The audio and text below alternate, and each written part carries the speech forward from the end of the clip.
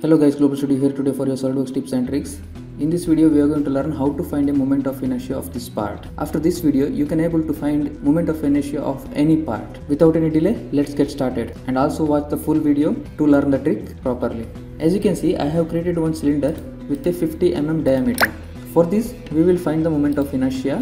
To find the moment of inertia, go to evaluate option and then select any face of the cylinder and then click to section properties. As you can see, principal moment of inertia of the area. This is where you can find the moment of inertia value. This value is in mm. The moment of inertia of the part is 306796.16 millimeter to the power 4. If you want to verify this value is correct or not, go to Google, open any calculator for the moment of inertia. As you can see here diameter, I am entering 50 mm here.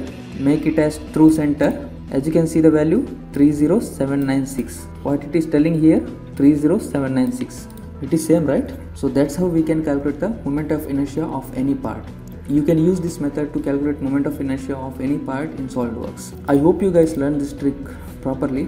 If you learned anything from this video, then please don't forget to like, share and subscribe. Thank you for watching the video once again. We will meet again in the next video with new tips and tricks. Bye bye.